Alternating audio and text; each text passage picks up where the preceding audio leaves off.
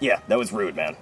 Let me go, you stupid pig! Oink, oink, oink! Settle down, settle down before I shoot you because you're unarmed, cunt. You get the fuck Oh, out of way. Well, it's illegal to rough up somebody's lemonade stand. So because of that, I'm revoking your lemonade license. Oh, you mother- You are no longer allowed to sell lemonade or lemons in the state of Florida ever again. But hey, how am I gonna make money?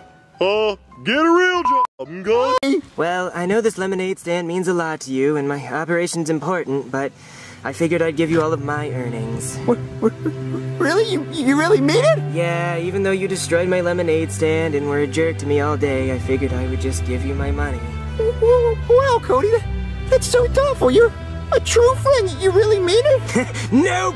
Oh, Savage you mother- You get the fuck back He's here! I'm gonna shoot your ass!